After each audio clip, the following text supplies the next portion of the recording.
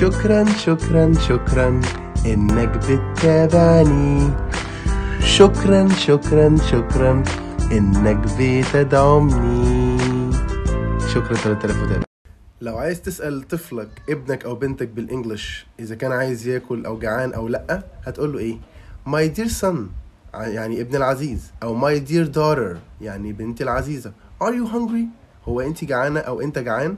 my dear son my dear daughter are you hungry طب لو هو جعان هيقول لك ايه yes I am او لو مش جعان يقول لك no I'm not اما بقى لو انت عايز او ابنك عايز يقول لك ان هو عايز سندوتش او عايزك تعمل له سندوتش فيقول لك please make some sandwiches please make some sandwiches يعني اعمل لنا سندوتشات My dear daughter, my dear son, are you hungry?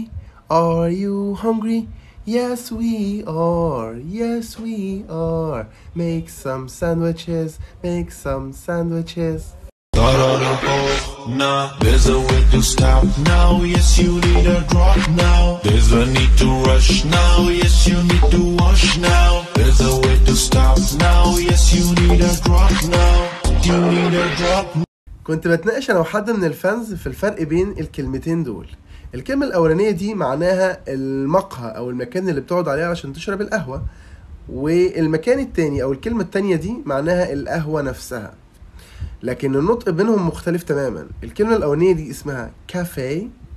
الكلمة اللي تحت اسمها كافي كافيه كافي كافيه كافي If you want to drink some coffee, you can go to the cafe. If you want to drink some coffee, you can go to the cafe.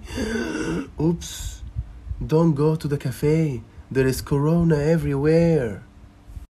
جيت اصلي في جامع سيدة عيشة العصر عشان انا في سيدة عيشة يعني وكده فلقيت الجامع قافل بصيت الناحية التانية لقيت الجنة فاتحة والناس قاعدة فيها. طب إيه؟ إيه؟ Quote of the day? Quote of the day معناها حكمة اليوم. وحكمة اليوم هي عامل الناس كما تحبهم أن يعاملوك طب إزاي تقولها بالإنجلش؟ بمنتهى البساطة تقول treat others like you want to be treated. Treat others like you want to be treated.